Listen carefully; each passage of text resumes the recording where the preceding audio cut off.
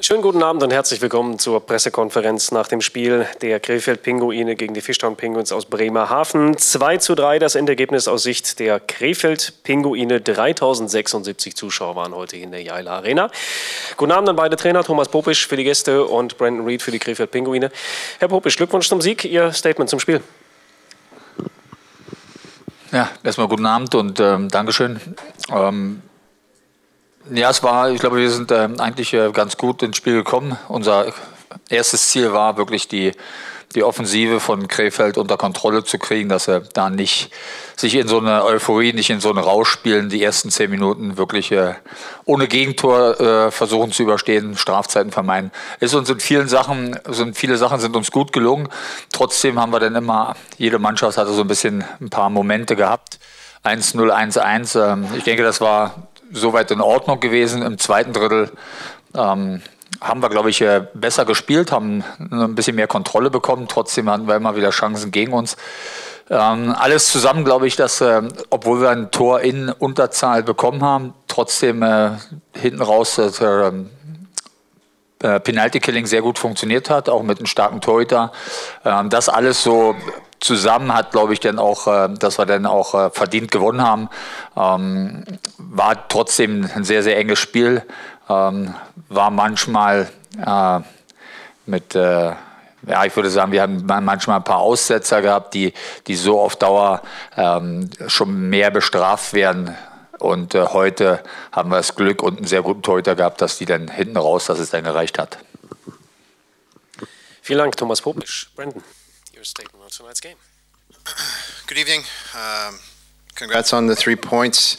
Uh, this evening, I thought uh, UC was our best player on the ice. Um, first five minutes, we played the way that we were supposed to, put pucks behind the net, uh, behind their D, um, be aggressive. Um, we let off the gas, gave them a little bit of momentum. Um, the first period was not a pretty period for me. I think uh, we have too many players on this team playing one side of the puck. Um, that's been a problem for us, um, especially in the last couple of games. But as of the last month and a half, trying to do too much on the offense, um, even in the D zone. You know, we're stretching the zone a little bit too quickly, not giving our D any support outlets. Um, and that gets frustrating when you turn the puck over a lot. Um, you know, our, our, power play had some good movement. I thought their goalie was very good tonight. Um, but I think any goalie in this league is going to be very good if you don't have any traffic in front of the net. Uh, we knew he's a big goalie. We knew we had to, uh, that was part of our game plan to be in front of the net, but it's a hard place to be. We have to be a little bit more grittier and willing to pay the price. Um, I like that we got that goal at the last minute, you know, uh, pull the goalie, but it's a little too late. Um, and we have to we have to be better um, throughout the lineup. We cannot play too fancy. We don't have the skill to do that throughout our four lines. We, we should be a working team. Um, we should be a team that pushes back defensemen and create momentum through long shifts in the ozone. Uh, maybe not trying to score every shift, um, I think that's where we're at right now. We try to score on every play possible, and most of the ozone time is, is a one and done, and it's tough to back check all the time. So um, right now, I'm, I'm really pleased, pleased with UC's game. I thought he played well. A um, couple lucky bounces on uh, on the second goal. I think you know went off two guys, three guys, um, but he was very good for us tonight. I thought uh, Bremerhaven played the way they do every time. Uh, nothing changes throughout their four lines. They have, you know, three and a half good lines. They play the same way, um, but they are also very good on both sides of the puck, and that's something you have to make a decision as as a player on how you want to be. And uh, I thought I thought they played a consistent game. Uh, their power play was very good. Uh, we knew that coming in that they were very dangerous, and they they got some good shooters.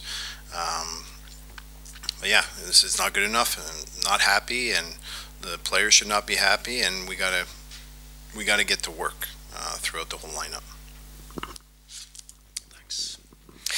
Also äh, Brandon sagt das Jussi heute ohne Frage. Also der beste Spieler war bei den Krefeld Pinguinen. So die ersten paar Minuten, so die ersten fünf Minuten, sagt er, sind wir eigentlich ganz gut ins Spiel reingekommen, haben dann auch den Puck tief ins äh, Bremerhavener Drittel ge äh, gebracht, auch hinter das Bremerhavener Tor.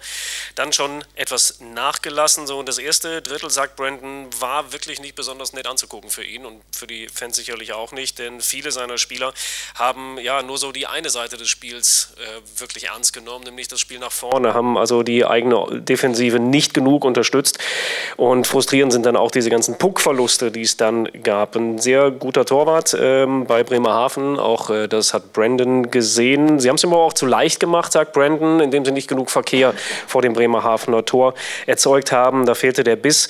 Und äh, das letzte Tor, das zweite Tor für die Krefeld Pinguine, gut, dass äh, sie da nochmal sich reingehängt haben, kurz vor Schluss das nochmal zu verkürzen. Aber unterm Strich sagt er von A bis Z müssen wir das einfach äh, besser machen und von der ersten ersten bis zur vierten Reihe als Team arbeiten, auch wirklich den Gegner mehr in der Defensive beschäftigen, also den Gegner ins eigene Drittel zurückdrängen und das äh, erzeugt dann also mehr Druck. Auch das ähm, fehlte eben heute. Ähm, Jussi beim äh, zweiten Tor der Bremerhaven, da sagte so ein bisschen, gab es da noch diese, diese Abpralle, aber insgesamt Jussi äh, überhaupt nicht schuld an diesen Toren. Bremerhaven, sagt Brandon, wie wir sie kennen, immer eiskalt nach vorne mit dreieinhalb wirklich richtig guten Le äh, Reihen äh, stark besetzt.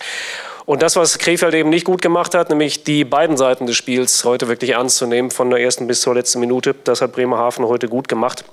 Auch das Powerplay hat viel, viel Druck erzeugt. Gute Schützen beim RFV Bremerhaven. Unterm Strich sagt Brandon, ich bin wirklich nicht zufrieden mit der Leistung heute. Da müssen wir besser werden. Fragen aus der Runde? Ist offenbar nicht der Fall. Dann äh, wünschen wir unseren Gästen aus Bremerhaven eine gute Heimfahrt. Viel Erfolg beim nächsten Spiel. Das wird für euch das Heimspiel gegen äh, Iserlohn sein am Sonntag. Viel Erfolg dafür. Wir sehen uns auch am Sonntag hier. Haben also auch zwei Heimspiele in dieser Woche. Dann geht es für uns gegen Straubing. Sonntag 19 Uhr sehen wir uns dann hier wieder in der Jaila Arena. Bis dahin eine schöne Woche.